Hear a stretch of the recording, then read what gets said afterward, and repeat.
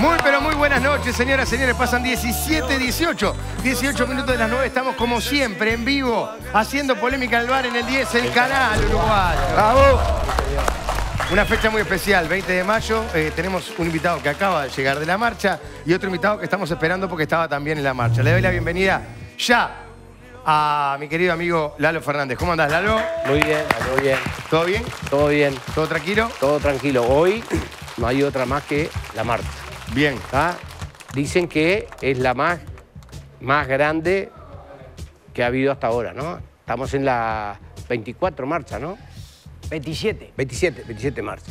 Este, y esta es la más grande y hace que hacía dos años que no se hacía. Es decir, el reclamo, de verdad... Sigue firme.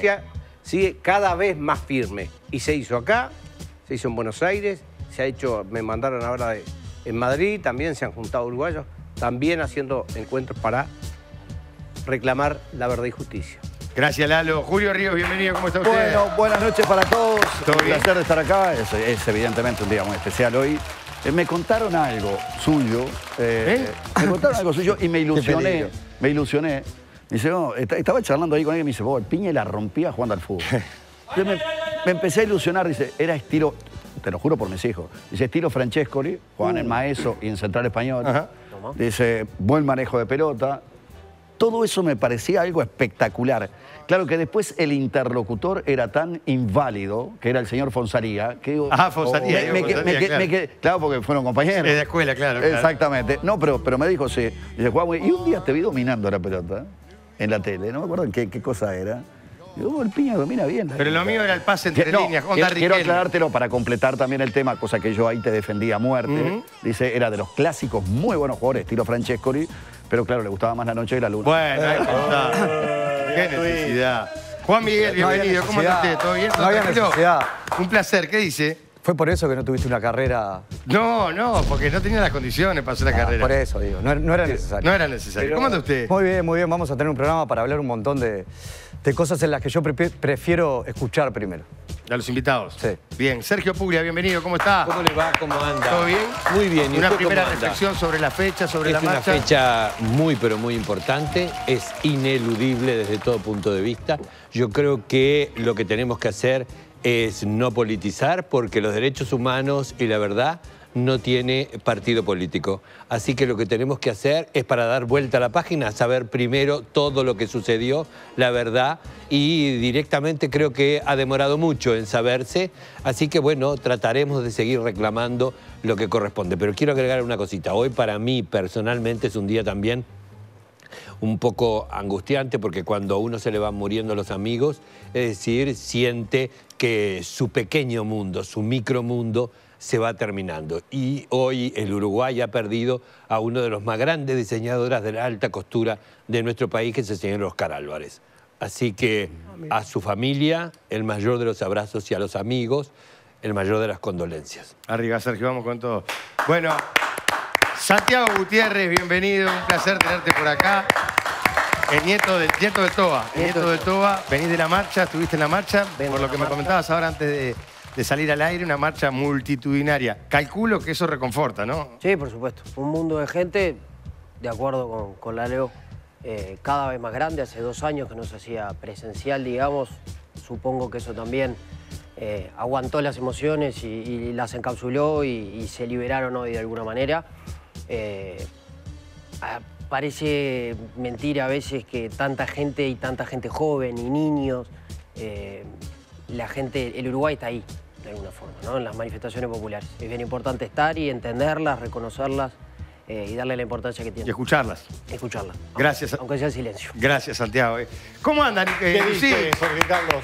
Bien, bien, también es una fecha sin duda importante. Además, estos hechos que causaron la desaparición de estos compatriotas, algo más de 30 en el propio territorio uruguayo y decenas más en, en otros países, sobre todo en Argentina, pero también en otros lados, ocurrieron hace ya muchos años, en la dictadura, básicamente. Eh, y sin embargo, muchos uruguayos empezaron a conocer el tema muy, muy de a poco, con, algunos con escepticismo, otros porque, bueno, no lo tenían tan cercano. Y empezaron a aparecer restos desaparecidos. En 2005, Ubajerra Chávez Sosa, Miranda, eh, tiempo después eh, Ricardo Blanco, luego el maestro Julio Castro, una conmoción, y muy hace, ayer aparecieron los restos de, de Bleyer. Gerardo Leyer. Es decir, que es un proceso también de mm, lento, pero, pero que tiene su renovación en el sentido de que hay mucha gente que empieza a incorporar estas cuestiones. Yo recuerdo palabras, y esto lo recuerdo de memoria, tengo bastante buena memoria y sobre todo auditiva, al propio actual ministro del Interior, Luis Alberto Heber, reconocer en uno de estos episodios, cuando se encuentran y las circunstancias se encuentran, bueno, lo del maestro Castro fue tremendo, ¿no? Eh, cómo, cómo se lo halló eh, y las circunstancias que de los restos derivaron de lo que fue su asesinato. Yo no sabía que esta cosa pasaba en Uruguay, lo llegó a decir. Y estamos hablando de una persona, un protagonista mayúsculo de la política uruguaya. Exacto. Es decir, eso creo que es un- una parte muy importante de todo este proceso. Más allá de que seguramente puede haber gente que lo vea con cierta distancia, ¿verdad? Este, y por supuesto que la historia del Uruguay, la historia reciente, tiene muchísimos capítulos vericuetos y todavía unos lugares no del todo bien iluminados. Pero seguramente lo más fuerte es esto, que aparezcan los desaparecidos. Y bueno, ojalá que aparezcan. Dem- demoraron mucho en aparecer restos, aparecieron. Y bueno, hay mucha gente que ya está ya bajado de los brazos, pero como se vio hoy, como se ve ahora, hay un mundo de gente que no. Rafael, mi querido, está entrando por el otro lado. ¿Cómo andás, Rafael? Bienvenido. ¿Todo bien? Todo tranquilo, un gusto. Estábamos arrancando el programa, obviamente venís de la marcha, ¿no, Rafael? Vengo de la marcha, sí. Sí, que es las primeras sensaciones, porque lo hablábamos recién con Gutiérrez, con Santiago.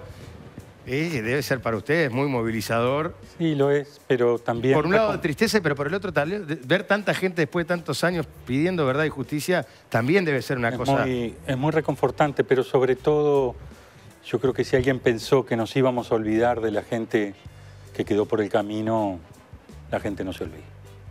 Y sobre todo sorprende la cantidad de, de gente que uno por la cara sabe que nació, Joven, gente joven, claro. gente joven, que nació después de la dictadura, que no vivió nada de eso. Es impresionante. Y daba la. En esta circunstancia, además, se repartieron las, las fotos, cosa que no había ocurrido otras veces. Cada una llevaba la foto de un desaparecido que tiene el QR, bueno, ahora con todo esto más moderno. Y entonces la persona se llevaba la foto para la casa y podía, si quería, con el tema del QR, saber sobre. ¿Quién era esa persona? quién era esa persona. Bueno, la- a mí me tocó, de alguna forma, la foto que yo agarré, una casualidad de esas de la vida. Eh, mi hermana me avisa ahora, me fui de la marcha para llegar en hora acá, y cuando le dejo la foto me manda un WhatsApp y me dice, qué increíble casualidad, tu foto era un estudiante de agronomía. Yo soy ingeniero agrónomo, increíble. Ah, increíble. Bueno, eh, obviamente son eh, situaciones distintas. A vos te habrá llegado las historias de tu abuelo por cuentos de tus tíos, de tus padres, de, de tu abuela, de tu familia.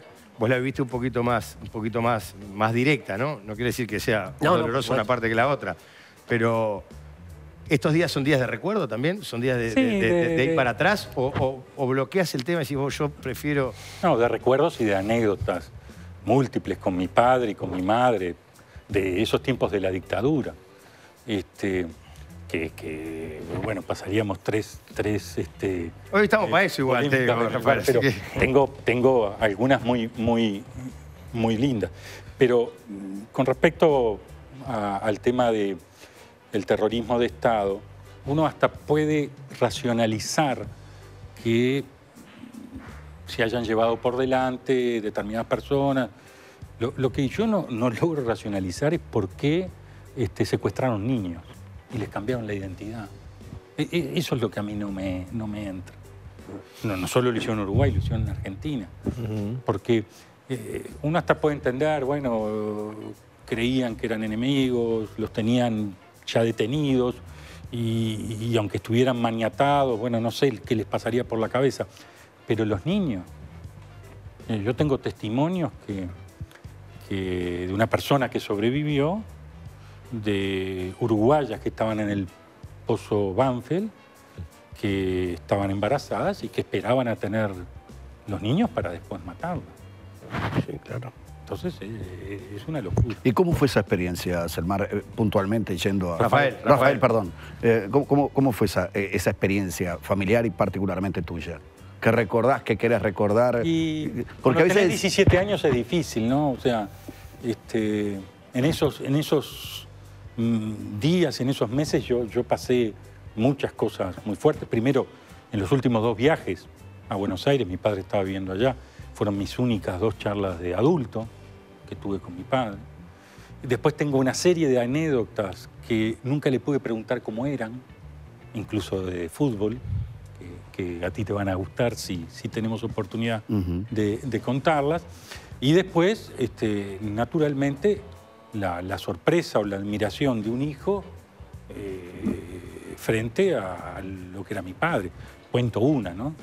Eh, se habla mucho de los rehenes varones, pero no se habla mucho de las rehenes mujeres, que hubo nueve, una de ellas una hermana mía, y a Lisita la cambiaban cada tres, cuatro meses de cuartel. Imagino la angustia de mi madre cuando íbamos, decía, ya no está más en este cuartel. Entonces mi madre, y, sepan los más jóvenes entender, llamaba a Buenos Aires, pero era una espera de ocho horas o de diez horas para llamar a Buenos Aires. Entonces ahí la atendía mi padre y mi madre llorando le decía, Lisita no está. Mi padre la trataba de calmar y la llamaba mañana, al otro día. Y al otro día le decía a mi padre en Buenos Aires, enemigo de la dictadura, le decían qué cuartel estaba.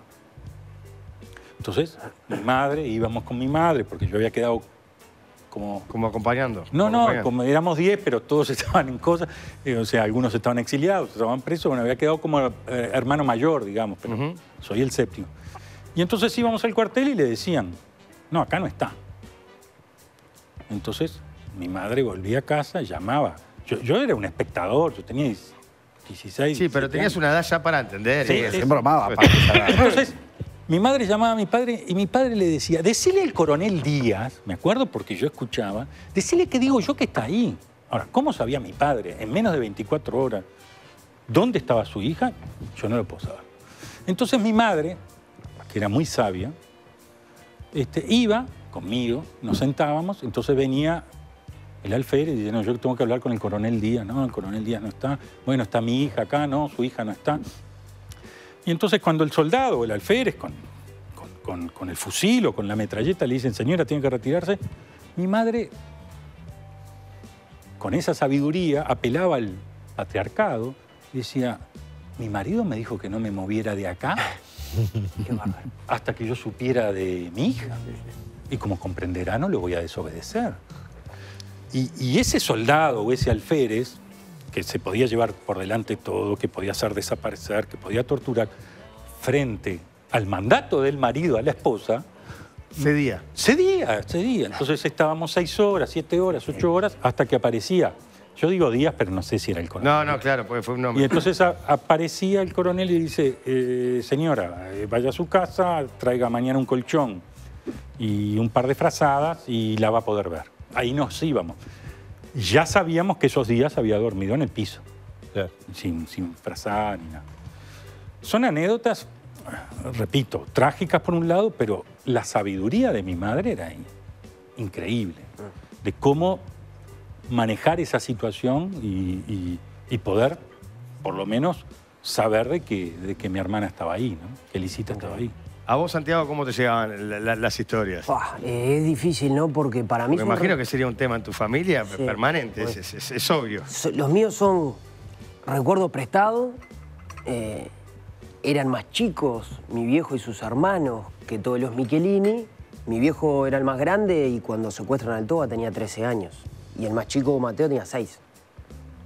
Eh, entonces ya ahí hay un desfasaje grande. Hay Claro. cuantos que tienen otros recuerdos. Mi viejo Marcos y el que le sigue Juan Pablo eran los dos más grandes y andaban un poco más solos en Buenos Aires y eso.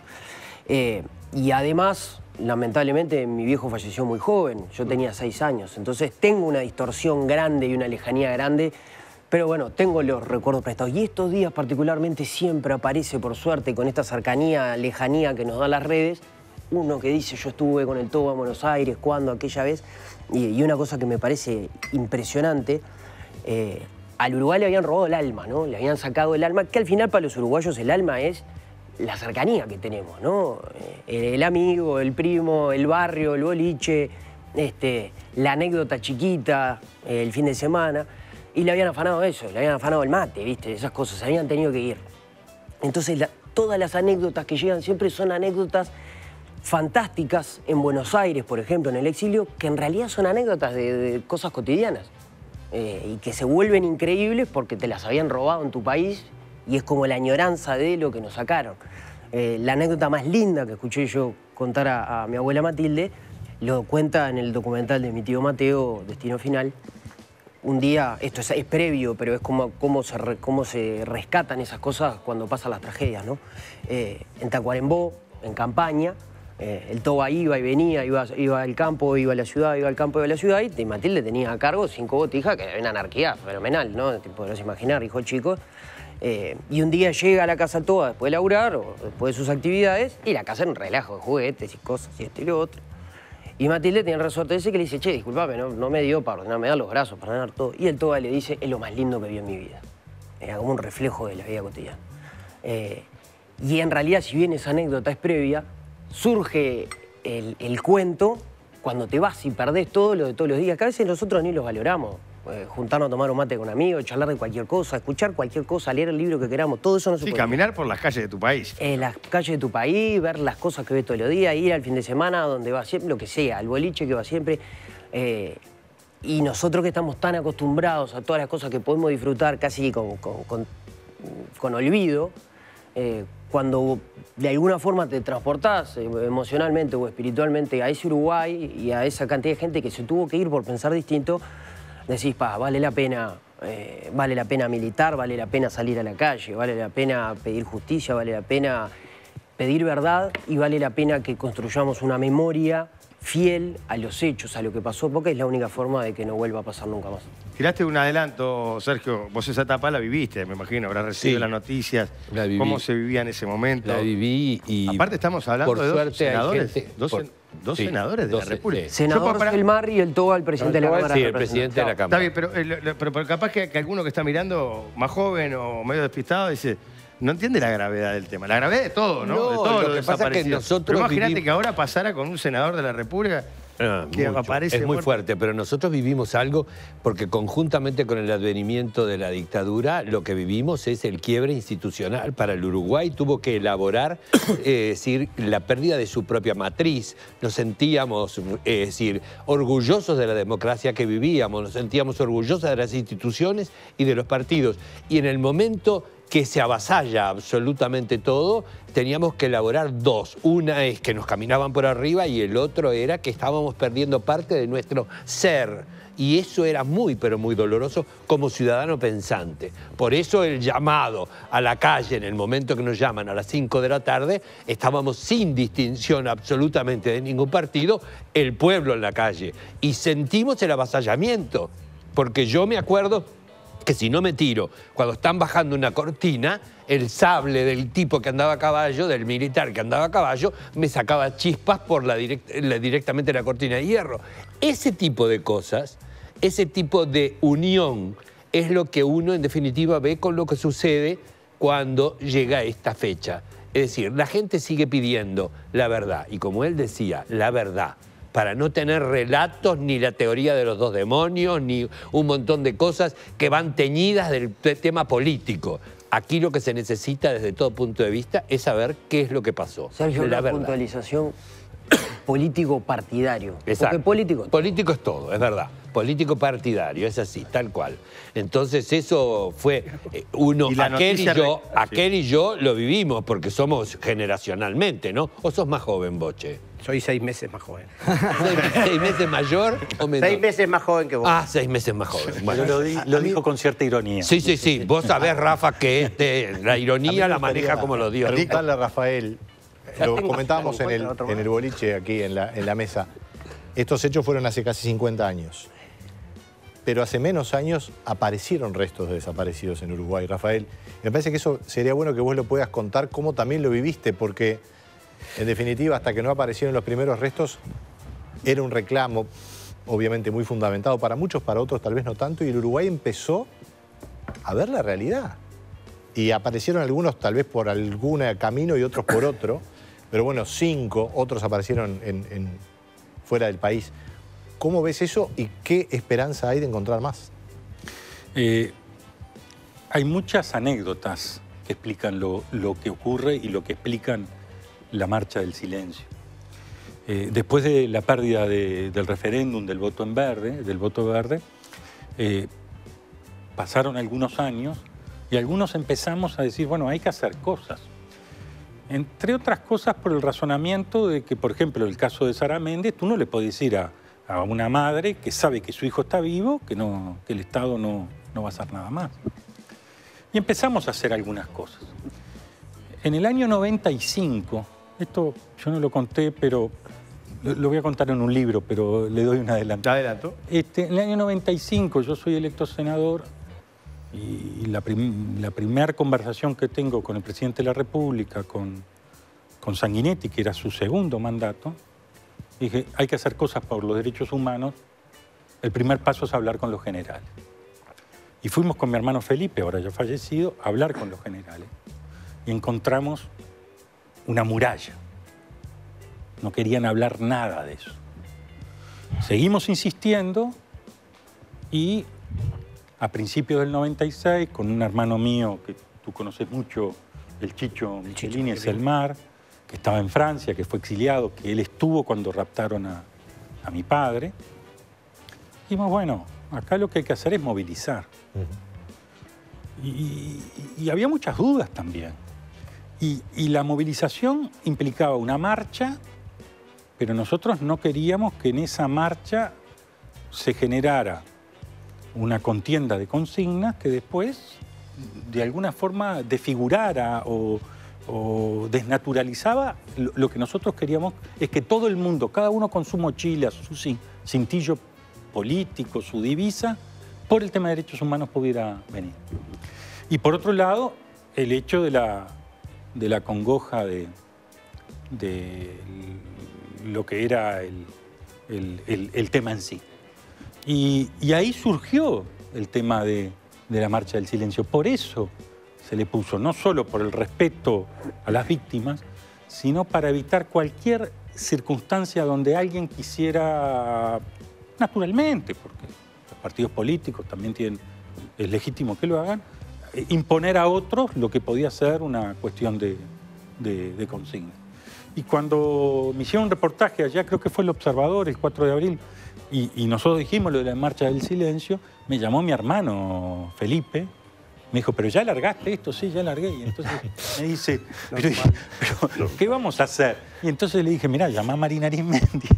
Y le dije a Jorge Pozzi, llama a- al PICNT, porque obviamente nosotros, toda la gente no la tenía, para generar la convocatoria y a la vez hablar con los este, familiares, que, que había muchas dudas en, en todos esos momentos. Nosotros estamos muy convencidos, pero nada indica ¿Dudas de que, de que funcionara, de que fuera gente, Sí, te, te voy de a dar el movimiento... la, anécdota. Estábamos, habíamos ido temprano con mi madre.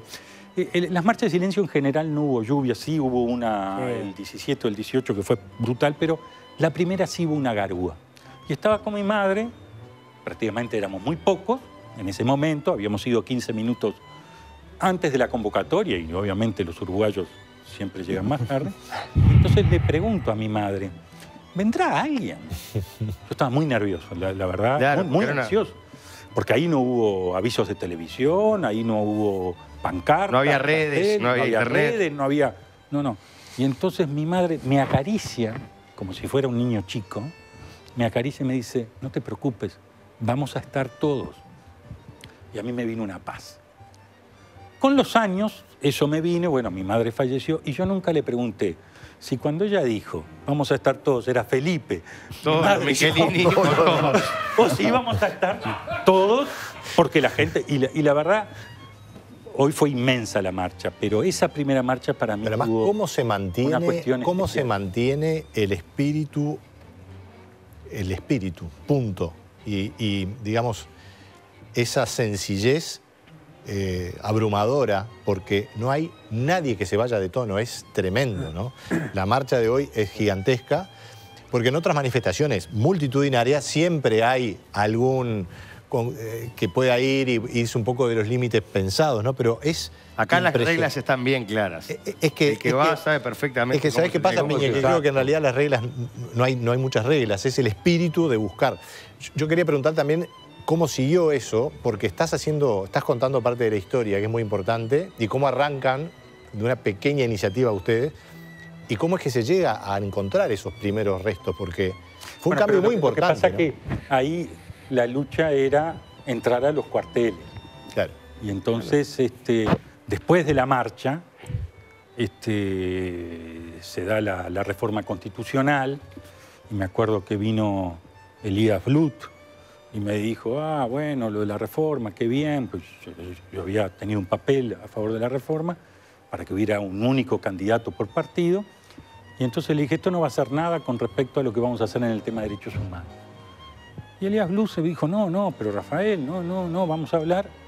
Y entonces me dijo de hablar nuevamente con Sanguinetti. Y Sanguinetti, o él, dijo, vamos a hacerlo reservado. Y entonces allá lo hicimos en la casa de él, que era en Carrasco, a una determinada hora, todo era, parecía en plena dictadura, todo conspirativo. Y Sanguinetti y yo caímos exactamente a la misma hora, sin darnos cuenta que ese día este, la intendencia estaba podando y estaba todo a Dion cortando los. Venían al presidente y a mí entrando. Entonces, todas esas cosas de los uruguayos que vos decís, esto es tragicómico. Hicimos todo para que nadie supiera. Y esa conversación, que fue, fue muy dura con el presidente, siempre con respeto, por supuesto, sobre los niños y sobre los, y sobre los desaparecidos. Y entonces eh, le dije, bueno, una u otra. Y me dijo, bueno, empecemos por los, por los desaparecidos. Entonces le dije, bueno, ¿y cómo? Yo hablo, me dice él, con los militares en actividad, era el presidente, no correspondía que un senador estuviera hablando, y tú hablas con los retirados. Y entonces él tuvo nuevamente una, una muralla de parte de los militares, de los generales, salvo Oscar Pereira, el general Oscar Pereira, que, que estaba en Washington y cuando le hicieron la consulta, él mandó, ese documento yo no lo tengo, me dicen que hay algún periodista que lo tiene, mandó y dijo, este es el momento de dar un paso, esta es la vía y lo que plantea Michelini es lo correcto. Por supuesto no le dieron bolilla. Y después yo empecé a hablar con algunos militares retirados, entre ellos Balestrino, que me lo pasa a Blut mismo.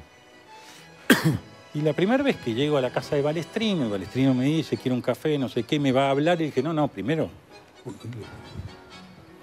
ahora recuerdo y me, me agarro la cabeza. Dije, lo primero le quiero decir que usted disolvió el entierro de mi padre. O sea, yo venía a, a tratar de buscar la verdad, pero yo no podía buscar la verdad sin la franqueza de lo que yo con 17 años había vivido, que Balestrino había disuelto con los caballos el, el- el- el entierro de mi padre. Qué momento, Rafael. Y, y- y Balestrino no sé si se la vio venir o no, y se puso preocupado y me empezó a contar de lo que había sido ese día, pero a mí me habían matado a mi padre. Entonces todo lo que él dijera era nada. Después las aguas se calmaron, me empezó a contar muchas cosas, una de ellas gravísima. eh, en un momento me dice, fui, fui como siete, ocho veces a la casa de él. Me dice, Michelini, me dice, ¿usted cree que a Trabar lo mataron la guerrilla? No se crea esas cosas, me dice. Dice, este, si nosotros trajimos cinco de Argentina para cuando ocurriera lo que ocurrió. Dice, lo que pasa es que el COSENA había resuelto 10 por cada uno de nosotros y habíamos traído 5. Entonces, el día que muere Trabal, nosotros ya teníamos los 5 hace 20 días acá en Montevideo, ese día tuvimos que reunir el COSENA para cambiar de 10 a 5, con la franqueza que hablaba. ¿Los cinco que era? Pará, pará, vamos a aclarar, porque vos, rehenes. vos das muchas cosas por rehenes, sobreentendido. sí, por Claro. eso. El cambio Rafael. de. Cinco, lo- no, los cinco son Cada los muerto- fusilados de Soca. Claro. Sí. En el año 74, el 19 de diciembre matan a Trabal en Francia y el 20 matan cinco, que son seis porque una de las muchachas está embarazada de cuatro o cinco meses, este, en Soca, que hay un monumento ahí. Sí, sí, la fusilada. Pero no los trajeron, los tenían 20 días antes. Claro. Los tenían 20 días antes. Él me lo dijo y todos lo sabían. hasta tengo la anécdota, todavía mi padre estaba vivo, que cuando entra en la opinión y le dicen, Michelini, este, hay un cable de que hay cinco muertos en Uruguay. Y mi padre le dice, tal, tal, tal, tal y tal. Porque mi padre había estado con una de las madres buscándolos en la Argentina. En la opinión en la sede del periódico en Argentina, en Buenos La- Aires. eh, ahí Sí. está. Hay un tema, Rafael, y, y- y esto va para los dos también, ¿no? Eh, que- Capaz que doy con muchas cosas sobreentendidas. No, No, ¿sabes no, claro, te digo? pero, Porque eh, Julio, era un Julio, militar. discul- disculpame la uno, última. uno cada uno, Claro. cinco, o sea, por la muerte de un militar, diez era el número, era como una especie de canje. Pero, perdóname, Julio, número. pero tú dijiste, en, se entra a los cuarteles. No, pero, pero, pero Sí. entonces, él me habla, él me habla de la Operación Zanahoria. Ahí. Ahí me habla de la Operación Zanahoria. Operación Zanahoria se hizo toda una discusión en el tema de derechos humanos porque había dos teorías. La Operación Zanahoria era humo, Claro. nos decían que, el- que los habían sacado a todos y todavía estaba para que no los buscáramos. Claro. A todos los desaparecidos que estaban enterrados. sí, estaban sí. enterrados, Claro. supuestamente, o, ¿no? o era real y no íbamos a encontrar a nadie. Con el tiempo, yo creo que estaba en el medio. Ellos hicieron la operación Zanahoria para una tumba, que son los militantes del PVP en, el, en 1976, en, el, en septiembre, finales de septiembre, donde fusilaron a 15, 16 muchachos. Y si esa tumba se encontraba, eran los nazis. Entonces, Sí, sí, claro. eh, esa tumba no se podía encontrar. Vamos la sociedad uruguaya no hubiera tolerado eso. Y, y termino. Y sí. presentamos el juicio, porque Sanguinetti no quiso actuar, presentamos el juicio y el juez Reyes nos dio la razón de que la ley de caducidad era para los responsables, pero la ley de caducidad no se podía aplicar a los cuerpos, A la búsqueda. a la búsqueda. A la búsqueda. Y entonces, este, a partir de ahí, el Tribunal de Apelaciones se apeló y tiró todo para atrás. Esa fue la antesala. Cuando viene el gobierno de Tabaré Vázquez, a mí se me eriza la piel, primero de marzo, Tabaré anuncia que va a entrar a los cuarteles. Jorge Valle no tuvo alguna, algún, alguna Con la Comisión para la Paz. Jorge Valle, la Comisión para la Paz. La Comisión para la Paz. Muy importante. Eso fue en el 2000, ¿no? Porque fue el, pa- el- en, Fue en el año paso. 2000. Fue el paso que permitió desbloquear. Exacto. Eh, recibió Voy- por primera vez a, a los familiares de, Claro. de los desaparecidos. Tengo alguna anécdota de eso. Vamos a seguir ahora después de la pausa. Julio, ¿tenías una pregunta pendiente? ¿La dejamos para, La dejamos después de la para pausa? Después de la pausa. Eh, al fin llegó el fin de semana y qué mejor que arrancarlo con lo mejor. eh. Un Don Pascual bivarietal Cabernet Merlot. eh. Eh, lo mejor de estas dos variedades se unen para brindarnos un vino muy agradable y fácil de tomar. Hoy se lo quiero regalar a alguno de ustedes. Juan Miguel, ¿qué plan tenés para hoy, por ejemplo? Me viene bien para el fin de semana, me voy para afuera, estufa leña, Qué lindo. comida casera y descansar. ¿Qué más querés? Ya está, te lo ganaste. Mirá qué fácil. Bien, te lo qué ganaste. fácil. Bien, ¿eh? Disfruta mucho este eh, Don Pascual Bivarietal Cabernet Merlot. De Don Pascual es puro carácter, regalo para Vamos a regalarle a, a Rafael acá. Santiago. Rafael. Para que lo disfrute. Santiago. ¿Y el mío? ¿Sabe cómo se llama? ¿Sabe cómo se llama el representante de Don Pascual en el este? Bueno, muchas gracias. Arriba. Que lo disfrute. Además, el vino Eh, me gusta mucho. Vamos arriba. Julio Ríos. No te puedo Me enteré hoy. Se llama Julio Ríos. Julio ya Ríos. pasamos la segunda quincena de mayo y esta noticia es realmente importante, porque a partir de mayo comenzó a ser obligatorio para las empresas de más de 50 colaboradores contar con un servicio de salud ocupacional, con el asesoramiento de un médico y técnico prevencionista. Y por eso quiero recomendar ASEM, Medicina Preventiva y Laboral, que pueden darte ese asesoramiento que estás necesitando para tu empresa. Informate más en sem.com.uy. Vamos a seguir hablando de todos estos temas, queda muchísimo para hablar. Vamos a hablar en qué está la búsqueda, se sigue buscando, hay pistas nuevas, hay esperanza de que aparezcan más desaparecidas, las polémicas que se generan siempre alrededor de la marcha, las distintas opiniones. Tenemos un montón de cosas para hablar en esta noche tan especial de 20 de mayo. ¡Pausa! Y seguimos haciendo en vivo Polémica en el Bar en el 10, el canal Uruguay. El aroma, el sabor del café de la mañana y la espuma, un secreto bien guardado. Capuchinos Ornex. Ornex. Cada día cocinando juntos. Industria Uruguaya es Termotanques Warners, Cortinas Cortifaz, Cerraduras Elisil, Pinturas Ulbrica. Vamos arriba, Uruguay. Cuidar de tu salud nunca fue tan fácil y delicioso. Proba la línea de gummies de Natural Life y disfruta de sus múltiples beneficios.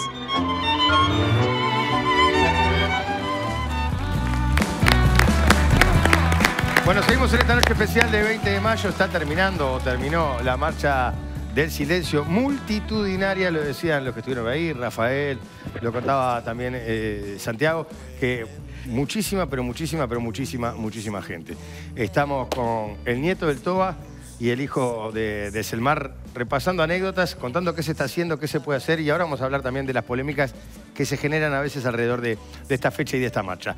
Muchachos, ahora tengo el mejor entretenimiento en casa. Puse DirecTV porque solo en DirecTV disfrutás todos los partidos de Qatar 2022 y los mejores deportes y estrenos de series y películas. Tenés DirecTV no te quedas afuera. ¿eh? Contratalo al 0818 68 desde 1.150 pesos por mes. Además, con tarjetas de crédito Visa tenés un plus. Viví lo mejor del entretenimiento. Hasta el 31 de mayo, ¿eh?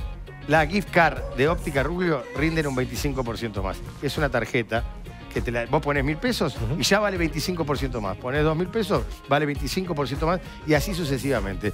Y por si esto fuera poco, que vos pones plata y te rinde el 25% más, te llevas un lente de sol de regalo. Hacé tu compra desde donde estés y te la envían a tu casa sin costo. Ni siquiera te tenés que molestar para ir hasta ahí. Visitá las casas que están en Montevideo o Colonia. Puedes seguir también a través de las, de las redes Óptica Rubio para enterarte de todas las novedades. Más información en ópticarubio.uy. Vos ya sabés que si hablamos de salud visual, hablamos de Óptica Rubio. Andá que te atienden de película, además. Ahí van, te ves qué precisás, te ponen... Mirá la onda que tengo yo, porque pasé por Óptica Tremendo, Rubio. tremendo, ¿Eh? tremendo. ¿No se, ¿No se dieron cuenta la onda que Sí, tengo? sí, La por onda que- favor. ¿Eh, Rafael? Muy tuñado. Es una onda que no se puede creer. ¿Por qué? Por los lentes. Si me ponía cualquier ropa, me ponía los lentes. Qué imponente. Bueno, Hay que decir eh, la verdad. Hay sí. que decir la verdad. Sí, decirle, no, no. Verdad. Bueno, muy bien. Lalo me estaba pidiendo la palabra, Julio tenía una pregunta pendiente, pero Lalo, adelante. Sí, yo creo que este, Sergio hizo un planteo que después lo, rectificó a partir de lo que Gutiérrez le dijo. Este es un tema político del país. Es un tema muy importante. Político del país y político en general. Porque todos hablamos, sí, que el golpe Estado, bueno, pero hubo un golpe Estado y asesinan en Argentina a un legislador que era Colorado, que viene del Partido Colorado, que estaba en el Frente Amplio, pero viene históricamente del Partido Colorado, y a un legislador del Partido Nacional. Entonces, ahí yo digo, ¿y eran jefes guerrilleros de algo? Por tanto, los demonios, ¿cuáles demonios? Primero, los momentos, ¿verdad? Porque hablamos del TOA, hablamos de, de, de Selmar, pero todos los desaparecidos, todos los muertos y eso. Entonces, todos estos días, ¿verdad? Estuvimos hablando de la, el Día de la Madre, la importancia de las madres. Bueno, y esas madres que todavía no tienen respuesta, y tenemos cantidad que se están muriendo, pero todavía hay unos cuantos militares que saben qué pasó o qué ha pasado con esos eh, Hijos, hijos, hermanos, hermanos, padres, nietos, de todo. Abuelos, ¿verdad? como Santiago Abuelos. Hoy, de casualidad, este, vi que en, el periódico, en el diario La Diaria, sale un reportaje a dos muchachas, hijas de militar represor. De un militar que fue represor, que estuvo en, uno de, los, de, estos lugares de represión. Y las gurisas vivieron todo esa- ese todo eso, todo eso. Y hoy día están integradas, ¿verdad?, a un grupo donde se están reflexionando, a un grupo de hijos e hijas de militares represores que han vivido con todo eso encima, ¿verdad? Con todo ese problema. Ese problema de que, que sus, sus padres, ¿verdad?, eran represores y que atacaron sin duda a la democracia y, a la propia sociedad. Y lo insisto, Uruguay, Argentina, ¿verdad? Brasil, porque no hay que olvidar que esto, por eso digo Plan. el político, estaba, estaba dentro de todo un plan, Un plan cóndor. Y lo que yo me, me- me planteo es cómo yo me negaba siempre cuando discutíamos políticamente a decir, porque las Fuerzas Armadas, yo decía, no, las Fuerzas Armadas no.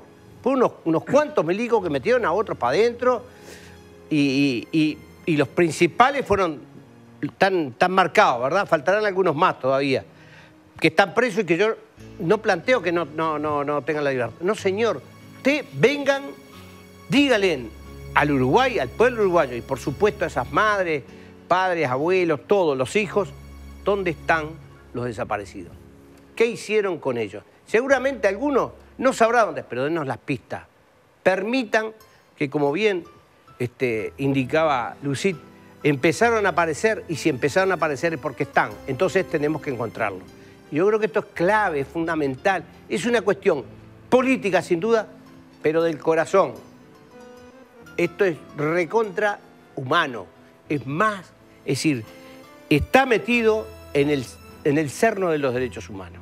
Bien, Santiago, eh, decías algo ahora en la pausa y tiene algo que ver con lo que decía Lalo, porque acá de repente algunos que estábamos informados, bueno, era una guerra y los que estaban presos o los desaparecidos eran parte de guerrillas. Y en realidad acá tenemos dos casos que no tenían nada que ver con la guerrilla y está lleno de presos políticos que jamás agarraron un arma y eso está bueno. Y vi que cuando Lalo lo hacía mención, vos lo, lo remarcabas con la cabeza también.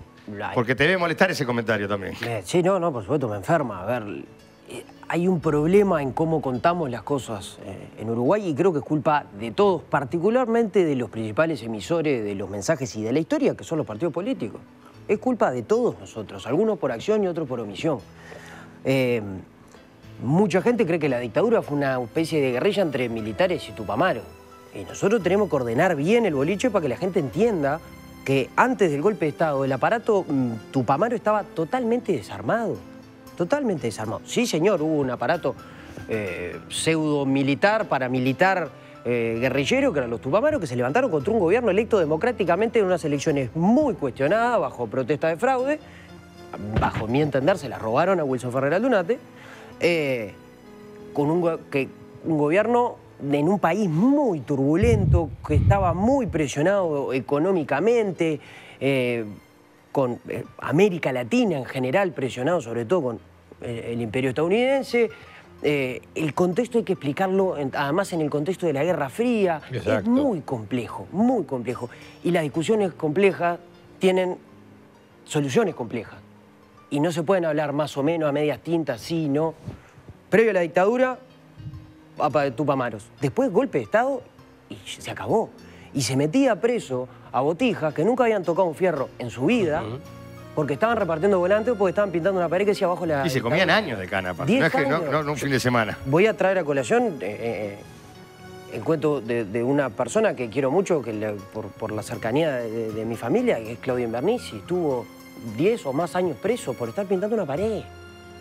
Y Capri, no, yo no sé si Claudio creo que integraba la juventud comunista, pero es anecdótico, ¿qué importa? ¿Cómo meter preso gente por, por el, el partido que integra o por lo que piensa? 10 años le afanaron a la juventud y, los mataban a palo. A él y el hermano. Ese es un cuento de cientos que hay. Y los desaparecidos. ¿Alguien tiene el, el expediente de alguno de ellos? Como para que digan, tiene tal, tal y tal delito. Y si los tienen, ¿qué tiene que ver? ¿Qué importa? ¿Se justifica matar y desaparecer a alguien? Ese es el tema de lo que tenemos que hablar. Lalo decía algunas cosas que, que- que me que iba pensando. Si tuviera una libretita me las, me las hubiera anotado, pero no me quiero Te olvidar de conseguimos, nada. producción, una libretita de Santiago. Para la próxima. Eh, el asesinato del Toba y de Selmar, eh, junto a Rosario Barré y William Wildo, que eran dos ex militantes tupamaros que querían volver, estaban hablando para volver a la vida democrática, de alguna forma eran del grupo de los tupamaros que han dicho, che, nos equivocamos o por lo menos hasta acá llegamos, ya está, no, esto no da para más. Eh, era la señal de la dictadura de que estaban dispuestos a todo. Si estaban dispuestos a ir a Argentina a buscar a los líderes de la, de la resistencia democrática, como eran el Toba y Selmar y Wilson Ferreira, Wilson. que iban en el mismo operativo, pero zafó porque estaba en el campo, y los, y los iban a secuestrar como los secuestraron, a torturar y matar, estaban de- ¿qué le podía pasar al resto de los uruguayos? Esa era la señal que- de, de lo que le estaban comunicando. Nadie está era, a salvo. eh, que primero, estamos en la cresta de la ola y estamos dispuestos a todo, absolutamente todo. Y esa era la herida de muerte, ya habiendo tirado a las instituciones, era el balazo de muerte a las instituciones. Se terminó, se terminó. A todos los que ustedes votaron y los eligieron para que los representen, estamos dispuestos a matarlos, no tenemos ningún problema. Vos que sos un tipo joven, ¿no? ¿Qué edad tenés, Santiago? 27. 27 años. Cuando también va para Rafael y para todos los, por Eh, supuesto, los tiene la misma edad de la marcha. Es, eh, no es- es- no- me parece que no es un En detalle realidad, menor. la marcha tiene 27 eh, Marcha, ediciones. ediciones, empieza un poquito antes. Yo cumplo 28, entonces yo soy del 94 y la marcha del 96, ahí quedamos desfasados. Un poquito desfasado, pero estás, estás ahí, Ahí. digo, sos de esa generación que creció con eso. Exactamente. Y ahí es donde yo me animo a, a hablar un poco más, y es cómo se fue procesando en la sociedad y desde los mensajes que emitían no solo el, el sistema político, sino el gobierno, y los propios militares respecto a estas situaciones. Porque al principio se negaban de plano cuando yo era un niño. No, no, Después- yo me acuerdo que decían que era todo mentira. Por eso, se negaban de plano. Después se minimizaban. Sí, hubo algunos, pero son poquitos, no son tantos, desde las máximas autoridades. Y la verdad que la persistencia en el reclamo es muy importante para que hoy otras generaciones, y creo que él lo representa muy bien en lo que hace la juventud del Partido Nacional, se apropien de una causa que obviamente que tiene ribetes políticos. Eso es indiscutible y donde hay gente que tal vez en algún momento haya intentado llevar agua para el molino y, y eso también me parece que no le hace nada bien a la causa. Pero hoy hay un apropiamiento de una juventud que para esa juventud debería ser historia bastante más lejana, como era la Segunda Guerra Mundial cuando nosotros éramos más jóvenes. 50 años habían pasado en los 90 y nos parecía que era allá atrás en el tiempo. Esto pasó hace 50 años ya. ¿Y? No, lo que te quería preguntar, Santiago, que tiene que ver un poco también con lo que dice. ¿Cómo es tu, tu- tu diálogo? Porque acá se dice, hay que, cuando dice la gente, hay que dar vuelta a la página, vamos a dejarnos de estas cosas. Vos tenés 27 años. Rafael seguramente la, la, la vio No, mucho. 27 no tengo. No, ya sé que no tenés. Hace 27. Sí. De aporte. Cuando se dan esas charlas con gente joven de tu partido o amigos del laburo, de lo que sea, ¿qué, se- qué te pasa por la cabeza? ¿Qué es lo que sentís? Hay que dar, ya fue, hay que mirar para adelante, esto ya fue para atrás. Y hoy tenemos sentado acá en la mesa un tipo que viene de la marcha, que más allá de tu relación de- de- con, tu, con tu abuelo, se te nota que estás recontra involucrado en el tema. Sí, en la marcha está lleno de gente joven, ¿no? Se renueva el público de la marcha y por eso crece también de alguna forma y por eso sigue existiendo. Si hubiera empezado con la misma gente que contaba Rafa hace 27 años y nunca se hubiera renovado el público, seguramente ya no existiría. Eh, esas conversaciones son difíciles porque además, si uno se involucra en estas cosas, debe tener cierto sentido de la responsabilidad de ser muy cuidadoso con las palabras y de tratar de convencer al otro de que es una causa humana, como bien decía Lalo. A mí lo, lo más sencillo, porque esto es de alguna forma buscar la cercanía del otro, decirle, vos, ¿y si fuera tu vieja, que no aparece nunca más? ¿Y si fuera tu hermana? Seguro. Y si no fueran, pero los hubieran matado, y si los hubieran matado, vos vas y dejás una flor. Esta gente no tiene dónde dejar una flor. ¿Y en qué momento de todos estos 50 años una madre dice, bueno, mi hijo sí se murió? No, cuando el, desaparecido se muere varias veces. Es una locura. A ver, en una guerra, que esto no fue una guerra, no fue una guerra, hay un momento en el que caen los muertos, están los heridos, se levantan las armas y se lleva a los heridos y se los cura y se vela a los muertos. En una guerra. Sí. Esto que no fue una guerra hicieron lo más abyecto que se le puede ocurrir a la raza humana, que es desaparecer a la gente, robarle al otro la posibilidad de tener un duelo, de tener un recuerdo, de, de- de llorar, de llorar a un ser querido. Eh, por eso es una causa humana. A mí no me interesa qué pensaban, qué votaban los presos políticos, los desaparecidos, eh, como tampoco a mí me, me- me hubiera interesado si no fuera el TOA, que era blanco y recontraherrerista, lo mataron junto a Selmar, que era de origen colorado, recontraballista, y ahí en ese eh, amplio espectro estaba casi toda la sociedad uruguaya.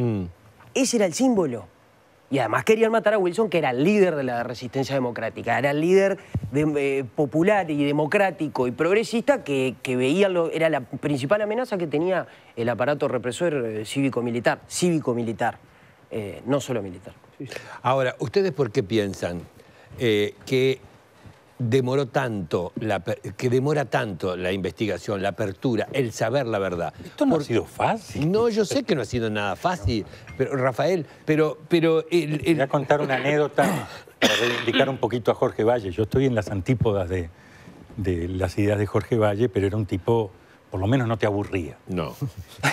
Por lo menos no te aburría. Qué mucho decir, ¿no? Este, y, y- y- y además era un tipo noble y, y se apiadó de las víctimas también. Entonces creó la Comisión de la Paz, pero todavía no estaba creada la comisión, él había empezado a gobernar y se había planteado recibir a los familiares de los desaparecidos. Este, lo habían anunciado, estaba en la agenda presidencial, bueno, no sé. Y ahí surge que los familiares van a ir con este, Sara Méndez. Se armó todo un revuelo. Porque la sociedad, o parte de la sociedad, o la estigmatizaron porque buscaba a su hija, a su hijo. Entonces me acuerdo que el tema de derechos humanos planteó la preocupación. Dije, bueno, déjame ver. Y, y- y- y yo insisto porque lo hablaba mucho con, con Felipe y también con, con mi hermano Selmar Chicho, que, que está en Francia. Y después dijimos, pero esto hay que razonarlo al revés. Porque Sara Méndez creía que un muchacho era su hijo y no había forma de hacerle el ADN. Y eso estaba trabado. Y a la vez el muchacho sentía que, que le estaban cambiando la vida porque sus padres le decían que, que su origen no era de ahí. Bueno, entonces eh, me acuerdo que hablé con, con- con- con Jorge y, y le digo, Jorge, hay que pensarlo al revés. Vos sos el presidente de la República, vas a recibir a los familiares desaparecidos por primera vez. Ni lo hizo Sanguinetti, ni la calle, ni, ni, ni Sanguinetti en su segundo gobierno. Qué mejor que Ya es simbólico Sara. eso, ¿no? 15 años de democracia Sí, sí, sí. y no se recibía a los familiares que le querían plantear, che, el, este- el- el Estado a partir de Eran las víctimas. las Fuerzas Armadas no nos da respuestas de qué pasó con nuestros familiares. Para que Julio tenía una pregunta así, pero termina. pero- y entonces, a- a- a- le digo, este, eh, eh, qué mejor que tú le pidas permiso a Sara para hablar con el muchacho, darle todas las garantías de que se haga el ADN. Si es, eh, eh, ya se había anunciado la aparición de Macarena Hellman, si es, encontramos un segundo. Y, y- y qué mejor para un gobierno, no importa el signo político, con- encontramos un segundo. Y si no es, al muchacho lo dejas tranquilo, porque también no era, no era, Sí, no era nada fácil. no- no era justo. Y, y, eh, Eh, Valle. enseguida compró la idea. Y me acuerdo que los diarios, porque era muy pícaro también, yo no sé si se acuerdan que la foto no es la foto recibiendo a todos los familiares, sino la foto recibiendo a Luisa Cuesta, la primera, que él le hace la venia. La, la la imagen de el presidente de la República haciendo la venia, que es un, un signo de obediencia, a Luisa Cuesta, que no le habían recibido durante 15 Claro, años. fuerte, fuertísimo. Era fuertísimo. Y yo creo que lo hizo a propósito. Era una señal también para adentro. Sí, bueno, muchachos, esto hay que empezar a arreglarlo. Esto está pendiente. Entonces, salta a los partidos. Entonces, acá hay aspectos conceptuales, bien los decía Santiago, acá hay aspectos de dolor, pero también acá hay aspectos donde hubo gente que ayudó, cada uno en lo que pudo, y hubo gente que este, trabó, trabó y trabó y trabó y trabó. Julio. mintió además, ¿no? Julio. Sí, sí, claro. Sí, eh, Te tengo abandonado del bloque anterior, ya No. que está re quemado conmigo. dale. no, no, tranquilo. No, no hay problema. Eh, No, no porque- viene más, no viene más. No, no, Ahora me saca el regalo, me saca el vino. No, no, no, yo escuchaba la, la reflexión que hacía Lalo, iba a pasar por ahí, también la pregunta que hiciste vos. Porque aquí hay un tema que tiene un espectro muy variado, muy variado. Eh, tanto Rafael como Santiago, dentro del dolor y la impotencia que todo esto tiene que generar, tuvieron la oportunidad de poder darle un cierre a algo que fue muy injusto, pero por lo menos enterrar, en el caso de Rafael a su papá, este, en el caso de Santiago, La familia.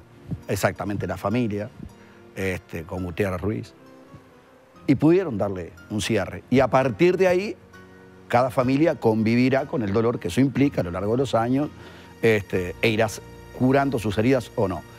Pero yo digo, fue tan maquiavélica la estructura militar que no solamente se detuvo, como bien, pues e- e- esa reflexión la iba a hacer, ninguno de los, eran legisladores electos, este, eran personas que representaban al país electos en el Parlamento. O sea, no estábamos hablando este, de ni siquiera integrantes del Movimiento de Liberación Nacional Tupamaro. Bueno, pero imagínate lo que implica también los niños. ¿Qué implica para una mujer hoy, para un abuelo hoy, para un hermano hoy, no saber de la vida del familiar que nunca pudo darle un cierre la familia al tema y arriba maquiavélicamente los niños, que era algo que hoy Rafael eh, comentaba. O sea, sacar los niños, darlos de repente con, con, a ver, con una situación tan compleja que a veces lo daban a, los propios militares. Imagínate lo que esto implica para una joven este, a una determinada edad enterarse de lo que pasó y posteriormente estar en una vereda que no eligió y con una familia. O sea, un tema muy complejo desde todo punto de vista. La- la- las dos preguntas puntuales son bien cortitas. Una, ¿cómo hicieron en diferentes formas para continuar adelante? Y lo otro, cuando dicen verdad y justicia. Esa es, eso es en el mundo real. o, o en el mundo ideal. En el mundo real, verdad y justicia, ¿qué implica? Decime lo que hiciste y arriba después te vamos a juzgar. Entonces, ¿qué quiero decir con esto? Al pedirle al militar en este momento que queda, porque muchos se fueron con el secreto a la tumba, eso está claro, ¿no? Al pedirle verdad y justicia le está diciendo, bueno, sabes una cosa, decime qué fue lo que hiciste, qué es lo que corresponde, y después te vamos a juzgar. Entonces, la pregunta para los dos es, un poco, a ver, saliendo de, de- de todo el entorno y el contorno político, más humano, ¿cómo, ¿cómo hicieron para seguir adelante con el tema? Y básicamente, ¿qué opinan de esta historia, verdad y justicia? Que tiene esa realidad que es incuestionable, me parece a mí. ¿no? Santiago o Rafa. Yo hablé recién, Rafa, así que... Re- eh, Rafa. No, eh, yo no, yo no puedo transmitir mis experiencias a otros. Yo tuve una madre excepcional, entonces, que nos llenó de amor. Este, y, y- y entonces no sé cómo lo vivieron otras personas. ¿Pero no sentiste odio en determinado momento, por ejemplo? Nunca que es nos- algo tan natural. Nunca nos juntó con, con No. el odio, siempre al revés. eh, nos llenó de alegría. Las cartas de mi padre que le escribía a mi hermana Elisita eh, le decía de vivir con alegría, más allá del dolor. Todavía mi padre, mi padre vivo. Tengo ahí una anécdota. eh, mi sobrino fue desaparecido un tiempo y lo encontramos y vino para casa. Y bueno, los primeros, su padre y su madre seguían desaparecidos. Incluso la información que teníamos es que los, que, que los habían matado. Este, después aparecieron, pero... Y, y- y el niño era complejo. Y, y era el año 76, yo tenía 17 años, Felipe 15, Graciela 11, Marcos 7, y todos competíamos por nuestra madre para que nos contuviera. Y además aparecía también otro niño más. Y entonces una vez reuní a mis hermanos y dije, bueno, esto ya no da más.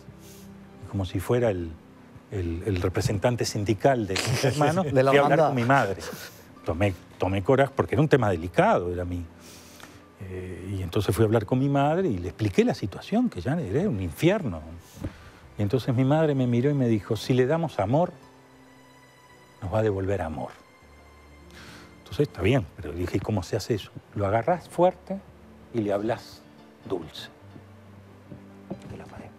Bueno, les transmití a mis hermanos como bien delegado sindical. Como hacía Lalo Naego. Viene, transmití a mis hermanos. Acá hay que darle amor, hay que hacer esto, hay que hacer. Lo hicimos al mes y medio, el gurí cambió. Pero aparte, imagínate la situación del niño ese, ¿no? No, siete no, años, la- esos siete años lo que habrá vivido ese Entonces, chiquitín. yo lo que- lo- cosita, perdona. Además, una cosa, ¿no? La madre de él, Toña de Lepiani, como decía yo, era una madraza, era una mujer. Vos la mirabas, era una paz, porque cuando él dice que estaba en el cuartel sentada, yo la- me imaginaba sentada lo que era ella con la carita que ponía. Era una cra. No, no, una sabia. Una cra. Yo, yo no puedo transmitir eh, esa experiencia que yo viví con una contención inmensa a, a otras familias que capaz que no la tuvieron. Y ¿Y que tu además abuela? hay que cargar con un desaparecido, porque como tú decís, yo sé que es difícil decirlo, pero tuvimos el privilegio de enterrarlo.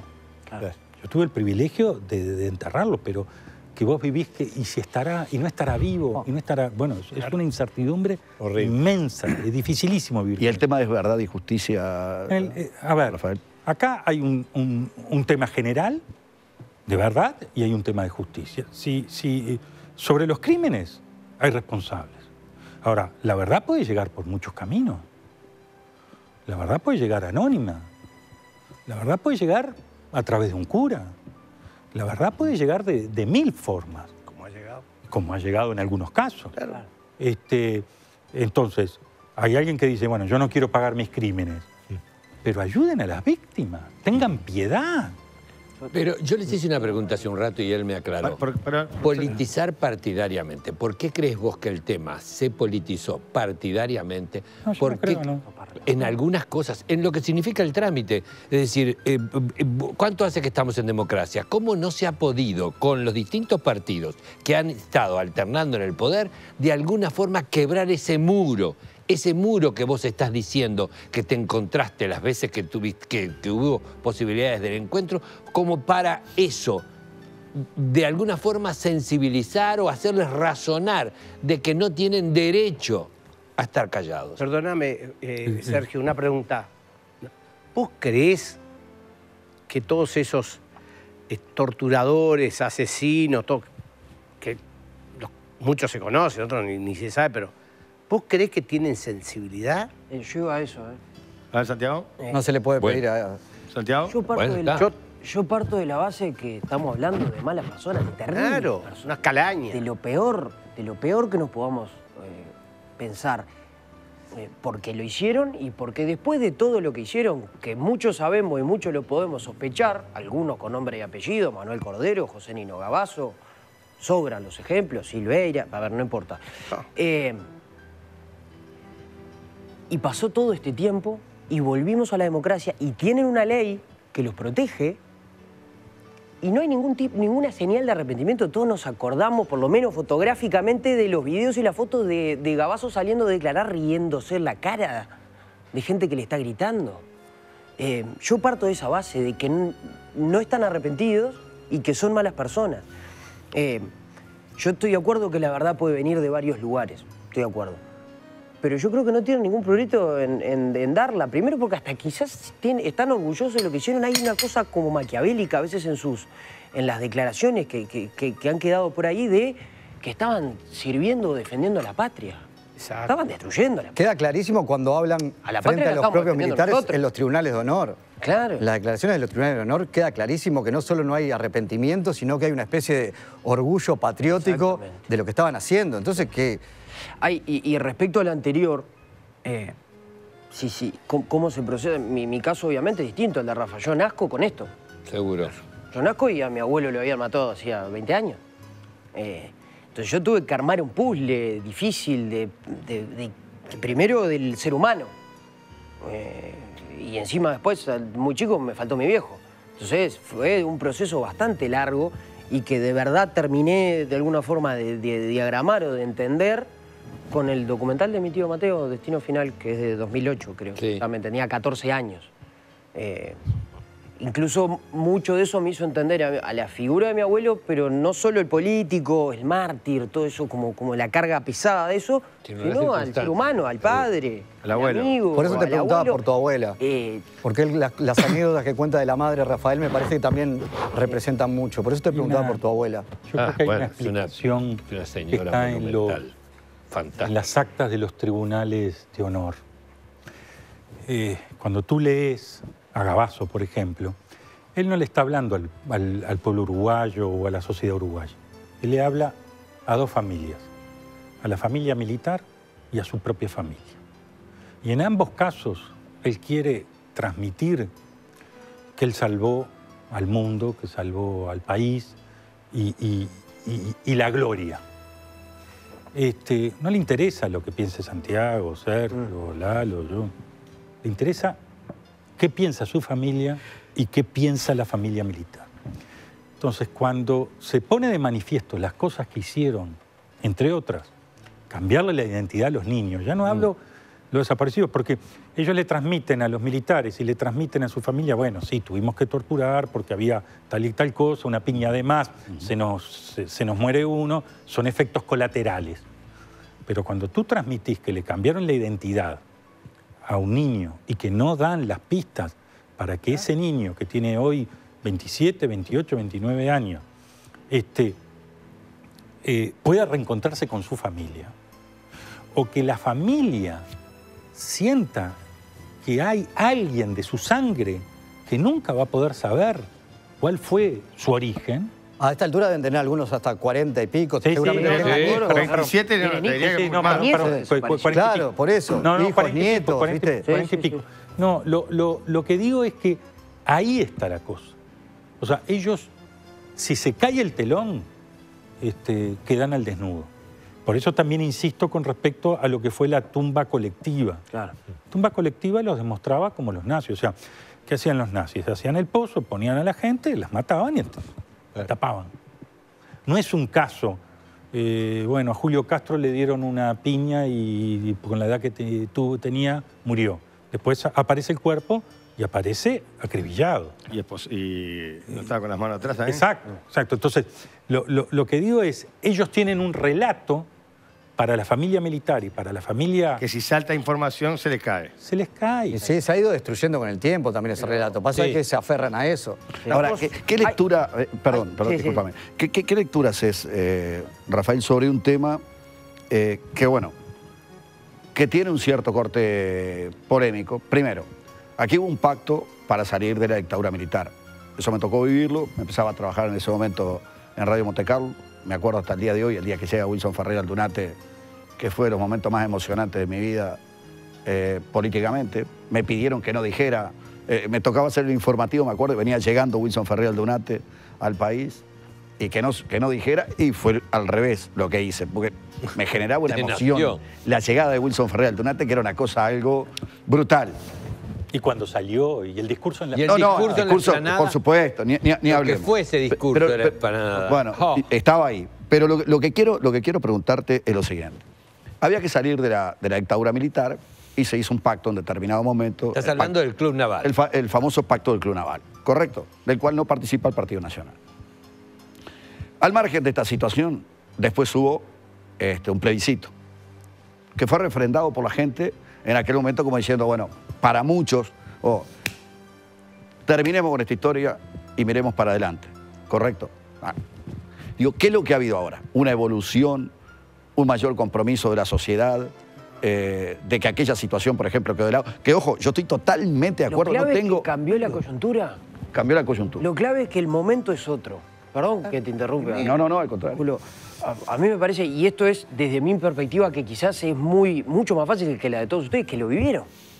Eh, mi lejanía del asunto quizás me permite sacarle una parte de las pasiones, que además imaginarán yo que soy blanco, que me sobran. Este, pero, pero mirarlo con, con cierta racionalidad. Yo no estaba, ¿eh? no me pongas en la misma lista. Te pido disculpas, no, yo te vi cuando te vi que hiciste cara. ¿Qué edad tenés, Juan Soy Miguel? del 80. Ah, está bien. Está bien, está bien. Yo Eh, tengo... Bueno, se termina. El, el- el camino, obviamente, de la salida es a gran a brocha gorda, ¿no? Eh, pacto del Club Naval. Sí. Lo que yo entiendo de alguna forma que es la, entre comillas y, y a grandes rasgos, la legalización del pacto del Club Naval, que es la ley de caducidad, se puede diferir en el asunto, no hay ningún, ningún drama.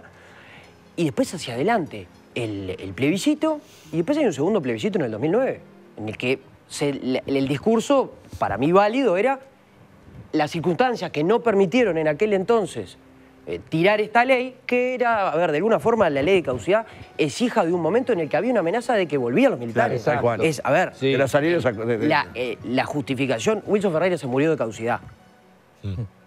Eh, cargó en sus hombros con una responsabilidad que entendió que era por el bien del país y se enfermó y se murió. En dos años, en un año y medio. Eh, está esa famosa frase de él de vino el Partido Nacional a sacar las castañas del fuego y ni prendió el fuego ni puso las castañas. Y el pacto del Club Naval, a ver, yo tengo mi visión, Rafa seguramente tenga otra, eh, van a tener distinta. Me parece que hoy, 2022, ponernos a discutir sobre esto solo nos va a hacer polemizar, que quizás en el programa eh, es válido, pero nos, nos aleja de, De lo lo, de que, de lo de, no de lo de hoy, de lo Sí. que hoy realmente importa, y es que no solo hay familias que no saben qué pasó con sus, con sus familiares y hay amigos que no saben qué pasó con sus amigos, sino que Uruguay para reconciliarse, para que de verdad construya una memoria eh, digna y fiel de los, a los hechos, tiene que saber qué pasó, pero no solo qué pasó con esa gente, sino qué pasó en el pacto del Club Naval. ¿Quiénes estaban? ¿Qué se dijo? ¿Qué se pactó? ¿La ley de caducidad? ¿Cuáles fueron las conversaciones? ¿Quién la propuso? ¿Por qué la llevó adelante el Partido Nacional? ¿Qué tiene que ver el Partido Colorado en todo esto? Que siempre se lleva toda la cocarda siempre sale ganándose para el Partido Colorado ganar ese ganar el poder y absolutamente nada más. ¿Y por qué nunca paga los platos rotos? ¿Por qué los militares nunca pagan los platos rotos? No los militares, la, la- la institución militar, sino no los militares de la época. Eh, ahí, ahí, ahí está la madre del borrego, me parece a mí. Bien, quería decir algo Sí, Lalo, quería decir algo. La ley, está bien, la ley de caducidad, pasar los plebiscitos. Artículo cuarto es, ¿no? Sí, señor. ¿El cuarto? El cuarto. ¿Se pudo investigar? Sí. Por tanto, dejemos, si no es que queremos seguir siempre para atrás, como dice Puglia, siempre estamos mirando para atrás, ¿no? Bueno, miremos para adelante. Había una ley que decía, artículo cuarto, se puede investigar. Y de, a partir de Tabaré Vázquez, primer gobierno, se empezó a investigar y empezaron a aparecer. Con la ley vigente, El claro. artículo cuarto lo redacta de puño y letra Wilson Ferreira, convencido que iba a ser presidente Bueno, de la pero digo, lo que quiere decir que la ley estaba.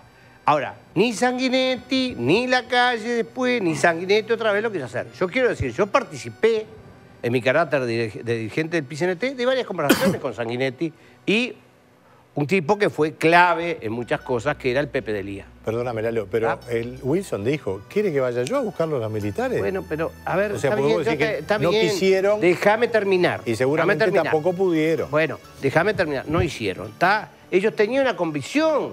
Yo no estoy diciendo otra cosa. ¿Qué fue lo que pasó? No hicieron. Estaban convencidos. tal. Sanguinetti permanentemente nos decía, y Sanguinetti era muy amigo del Pepe, del Pepe de Lía, y te- se tenía mucho respeto entre los dos. Y el Pepe le decía, pero chiquito, vamos a empezar a mover algo por lo menos. Y Sanguinetti decía, no, no se puede. Al segundo gobierno, ¿tá? ya no era el 85-90, ¿verdad? No era cuando recién habíamos salido. Volvimos otra vez a conversar, ¿tá? Y no había caso. Y entonces el Pepe le dijo, ¿sabes qué pasa, Julito? Como le decía al Pepe. Se va a empezar a mover el país. ¿Por qué? Porque la gente va a empezar a reclamar sobre su memoria, porque los desaparecidos son la memoria de todos. Tupamaros, socialistas, comunistas, pero blancos y colorados, todo, porque sobre ellos se construye el país. Entonces, yo lo que digo está bien, pero hoy día, sigamos hoy una marcha tremenda donde, bien lo decía este eh, Gutiérrez, cantidad de gente joven, es decir, se ha renovado el plantel, que sigue reclamando verdad y justicia. ¿Cómo es después? Yo qué sé, lo primero que tenés que tener es la verdad. ¿Para qué? Para que esos familiares puedan terminar de cumplir con algo fundamental, ¿verdad? Que en la, en la vida. Murió, bueno, quiero enterrarlo. Hay dos quiero experiencias. llorarlo. Ahora, quiero hay Yo te decía cosa la que verdad, trasciende a la verdad fundamental. a la calle, porque después entramos con gobiernos progresistas y tampoco pudimos, eh, a pesar de que Ta- Tabaré plantea la investigación, tampoco se pudo llevar adelante en su totalidad. No, a eso es a lo no que voy. Yo pudo, creo que pero trasciende. algo, Lo que yo estoy, Pero yo estoy diciendo que avanzó, algo pero- se avanzó, puede seguir pero- avanzando. Valle, Jorge Valle, que era, el, como dice él, era lo más, tal, pero teníamos conversaciones con él. Y vino y me dijo, vas a ver, te voy a encajar la... Eso es lo que me, me dijo, te voy a encajar la... la Está buscando un la Comisión ¿no? de la Paz, Ah. a ver cómo va a temblar. Yo- nosotros habíamos venido de Estados Unidos, que habíamos ido a, la, a reunirnos a Estados Unidos, fuimos a hablar con él, y él ese día iba a hacer la conferencia, que nosotros lo sabíamos, sobre, y me dijo, vas a ver, vamos a avanzar. Y hubo un avance, sí, hubo gente que estuvo en desacuerdo, porque no, no era todo, no, pero era una parte importante, era muy importante. importante. Y nos permitió después al gobierno de Se Tabaré el seguir avanzando, se porque había elementos para poder Pero seguir. no se el problema es encerrar, es decir, no, Sanguinetti estuvo bien. Para mí, para mí estuvo horrible. Para vos habrá estado bien, No, para mí no. yo no hablo de que estuvo bien ni mal. Estoy diciendo que trasciende las personalidades políticas. Sí, y después llegaron bien. los gobiernos progresistas, se avanzó, pero tampoco se avanzó en... en- en- Porque en- los militares esos que los tenemos por ahí presos son una banda de delincuentes, asesinos, de todo. ¿Está? Que yo comparto con él. Cuando te dicen, no son humanos pero para nadie nada. te discute porque fueron el, su cabeza fue eso. Para. Santiago, tengo a Rafa y iba a Rafa Sí, y, dale. te- y vamos con Santiago, que todos Eh, quieren hablar. pri- primero que nada, No, este, siempre se puede hacer más. Eso está claro. Segundo, yo creo que en el gobierno progresista hubo un cambio de calidad. Los que eran las víctimas y no se reconocía que eran víctimas, se las reconoció como víctimas. Se entró a los cuarteles y se llevaron policías y militares presos.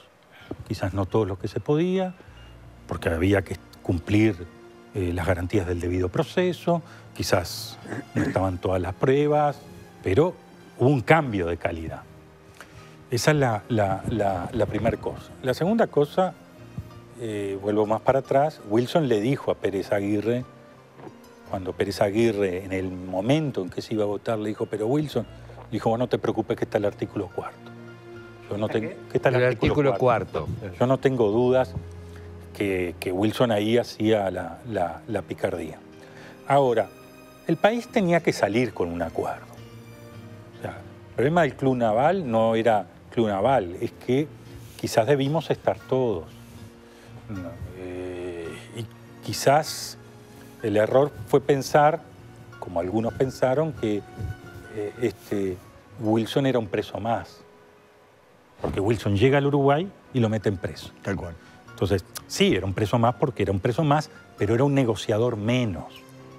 Y si El hubiéramos... negociador menos. Era, sí, era un... Era Huicho Ferreira. Entonces, no, por supuesto. Entonces, quizás debió buscarse la Le forma... costó la presidencia, Wilson. Sí, Wilson debió buscarse la forma de, de- de estar todos negociando. Ahora, que, que teníamos que salir con una negociación, yo, a mí no se me pasa por la cabeza que con todas las desgracias que tu- teníamos, todavía nos embarcáramos en, en una situación de violencia. Eso Pero esa no- negociación condicionó el avance. por- no, no, yo ahí tengo Dire- mi interpretación. Mi interpretación es que se negoció con la parte de las Fuerzas Armadas eh, más sensatas. Y no se tocó el tema. Cuando, cuando viene la, de- la democracia, bueno, no solo no se tocó el tema porque cuando vino la, la amnistía a los presos políticos... Estuvo sobrevolando se- se puso- subyacente, como No, dijo- pero se puso, se puso en la ley que no iba a haber amnistía, que no alcanzaba la amnistía a los militares. Pero Rafa, lo que está en el documento no Déjame, déjame, déjame, déjame terminar. Medina no quiere la amnistía. Exacto. Y hay reportajes también con respecto a eso. Y hay un reportaje que yo no lo encuentro, pero lo voy a encontrar, Sanguinetti subiendo, ya presidente, a un avión diciendo de ninguna manera va a haber amnistía a los militares. ¿Qué es lo que pasa? Es que hay un cambio de correlación de fuerzas dentro de las Fuerzas Armadas que le dijeron, bueno, si acá tocan a uno, tocan a todos. Es mi opinión y a partir de ahí se van generando. Además, no- los se van militares no generando- aceptaban la amnistía porque no reconocían lo- lo- Los crímenes. Los crímenes. El, claro. Santiago. A mí, a ver, cuando nos, se sientan a, a negociar todos, quienes sean, eh, a pactar algo, todos se llevan algo. Seguro. Eso está de acuerdo. ¿Y qué se llevaron los militares entonces? El, El pacto de. Clunaval. La salida. ¿Se llevaron el silencio y la impunidad? El No silencio. se explica por ningún lado. El silencio se llevaron. La salida la negociaron Ni- los demócratas. Nicolás pero ellos negociaron el Nicolás silencio. dice, como a dijo mí me Sereñi, parece. que sobrevolaba o subyacía el tema de la impunidad. No quiero entrar en esto porque en realidad hoy, 2022, no nos vamos a poner de acuerdo y no nos No, vamos a poner de acuerdo déjame hacer nunca. una reflexión. Eh, Piña hizo una pregunta hace unos minutos muy interesante, porque la gente dijo pasar la página, ¿no? Y la verdad, a mí me gusta mucho Internet, pero me gustan más los libros, porque los libros permiten avanzar, pero permiten ir para atrás con las páginas. Y estas cosas hay que seguirlas recordando y preguntando y analizando. Y así como todos los familiares eh, de detenidos desaparecidos quieren saber la verdad, los movimientos políticos de la época también quieren tener su verdad, el sindicalismo, la gente que perdió, el Uruguay que perdió la democracia, el Partido Nacional que vuelve a insistir con el tema del Pacto de Club Naval, que tuvo tanto tiempo insistiendo y tiene allí una, una herida abierta, y lo- la llamada familia militar y las personas que eh, también fueron afectadas por episodios de los años 60 porque le fueron asesinados por el movimiento guerrillero algún pariente o por diversas circunstancias que se están moviendo también diciendo que la historia hay que contarla toda. La historia, claro que hay que contarla toda. Difícil encontrar una persona que la cuente toda. Por eso es muy importante la libertad, la democracia y claro que sí, que hay que seguir recordando la historia. No en el sentido de frenarse, pero en la convicción de que se va a seguir adelante cuanto mejor conozcamos el Tengo que ir pasado. a la pausa y sí, volvemos, Sí, Santiago. dale, volvemos contigo porque tengo que ir a la pausa ya. Pausa y ya seguimos en esta noche de 20 de mayo. Preciosa noche. ¿Cómo está pasando, muchachos? ¿Bien? Muy bien. Estamos bien, estamos bien. Pausa y seguimos aquí en el 10, el canal. Uruguay. La seguridad en el tránsito depende de vos.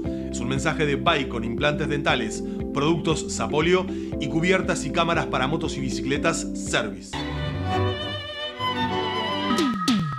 Dulce, salado, que es dulce y salado, que te dulce, salado, que es dulce y salado.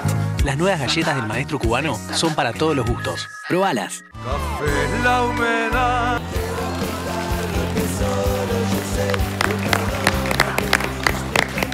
Clavaditas, ¿eh? seguimos haciendo polémica en el bar aquí en el 10, el canal uruguayo, como siempre, en vivo. Bueno, antes de irnos, nos vamos de a poquito despidiendo. Una reflexión final, algo para decir, Rafa, Santiago, por supuesto, también, sobre esta fecha tan importante, sobre la marcha multitudinaria Sí. que se volvió a realizar en Montevideo y en otros países del mundo. Do- do- dos aspectos. Dale. La primera, tiene que quedar claro que no nos vamos a olvidar de los que quedaron en el camino. Si alguien piensa que vamos a aflojar, que se lo saque de la cabeza. Y la segunda, que yo aspiro, y Santiago me va a ayudar, a que el presidente no acompañe esta iniciativa de, la prisión domiciliaria. los militares y policías que están presos están en una cárcel especial y cuando un juez ha decretado que por razones humanitarias tiene que estar en su domicilio, así ha ocurrido, no hemos dicho nada, porque lo decreta la justicia. Lo que nosotros no queremos es una señal de impunidad, una señal de que el Estado uruguayo o este, el Parlamento uruguayo dice, bueno, eh, estos son crímenes así nomás. No, estos son crímenes de lesa humanidad, crímenes aberrantes, y así se debe tratar. Si después un juez considera, por razones humanitarias, como le pasó a Gabazo, que fue uno de los asesinos del Toba y de, y de mi padre, y los últimos meses o el último año estuvo en su casa, y nosotros no decimos nada. Pero que el Parlamento no se puede pronunciar en esa dirección y sería bueno que el presidente de la República este, no se sume a esa iniciativa. Gracias, Rafael, por venir. ¿eh? Rafael Miguelini.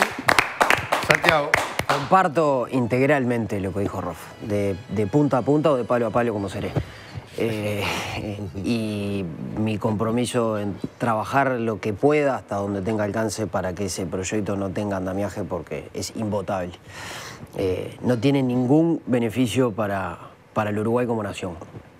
Eh, en una fecha como hoy, y obviamente desde mi perspectiva, creo que lo más responsable es eh, que tratemos sobre todo las, entre comillas, nuevas generaciones o, o quienes somos más jóvenes, que tenemos un poco más de distancia de los hechos y que obviamente no estamos tan heridos porque la herida es uruguaya, es al país y como tal la tenemos que resolver como país, los uruguayos.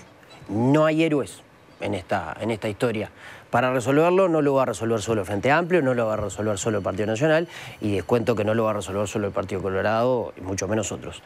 Eh, creo que tenemos que dejar de alguna forma un poco las pasiones, nuestras interpretaciones de lo que ya pasó y poner el foco en los más necesitados de alguna forma, en lo más grave de todo esto, que son, por un lado, obviamente, este, los familiares de los desaparecidos, y por otro, que el país pueda construir un, no me gusta para nada la palabra relato porque parece un invento, eh, construir un invento, sino que podamos construir y escribir la historia sobre lo que pasó, sin vergüenzas, sin culpabilidades, porque también hay que entender eh, y estar sentado en esas mesas y en esas sillas cuando había que tomar decisiones a veces de un día para el otro con un Uruguay eh, en el, con las instituciones en el piso y en llamas. Entonces creo que sobre todo los más jóvenes que tenemos determinada distancia, podemos hacer el esfuerzo responsable de llevar a Uruguay a un lugar de, de paz, de seguridad, que lleguen respuestas a todas las casas y seguramente el Uruguay va a ser un, un país mucho más eh, próspero y con un futuro mucho mejor y más claro si, si tenemos esa grandeza espiritual. Gracias, Santiago. Un placer de conocerte. ¿eh? Gracias, Lucil. Nos vamos. Encantado, la verdad que un placer eh, y gracias a- especialmente a Rafael y a Santiago. Si alguien sabe algo, que lo diga, que lo transmita. Muy bien. Y que no pase nunca más lo que pasó. Gracias. eh. Sergio. Cuando uno ve las imágenes de lo que sucedió en el día de hoy, uno dice qué suerte que todavía esa gente, ese pueblo, está permanentemente de pie luchando por la verdad. Gracias, Sergio. Juan Miguel.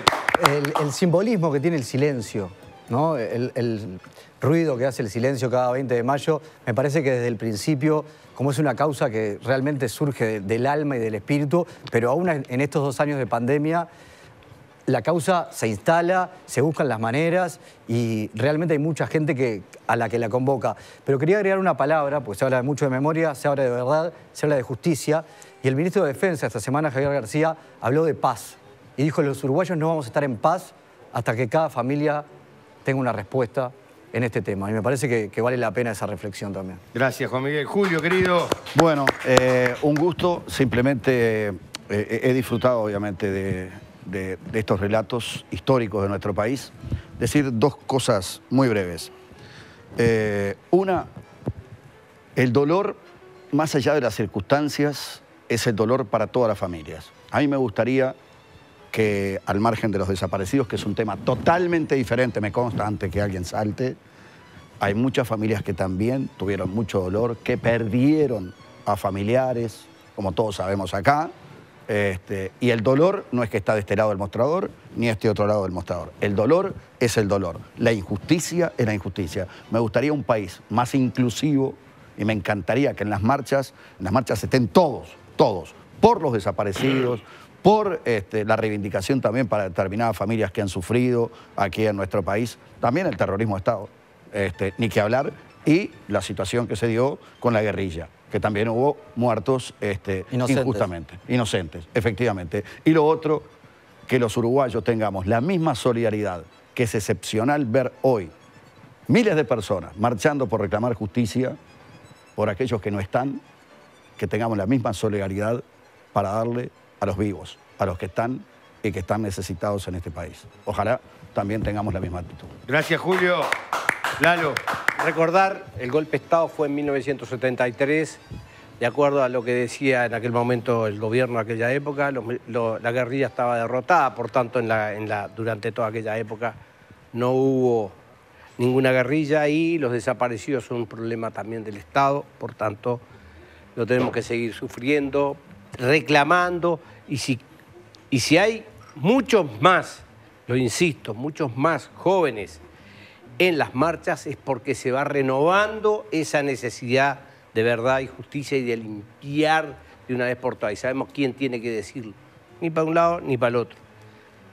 Y pasa el tiempo y pasa. Y me manda un amigo que dice un, famoso criminólogo francés, Edmond Locard, tiempo que pasa, verdad que huye. Gracias. Gracias, Lalo. Muchas gracias, eh. gracias, Gracias a los invitados. La verdad que un programa eh, especial, como el día, como la fecha, como la marcha. Así que gracias a todos por estar, gracias por participar y gracias a todos por estar del otro lado de la pantalla. Nosotros ahora los convocamos, los invitamos, los conminamos para el próximo domingo cuando volvamos a hacer polémica en el bar en vivo, en el 10, el, canal. canal Uruguay. Sábado con trampas, linda función. Yo solamente necesito agradecerte la enseñanza.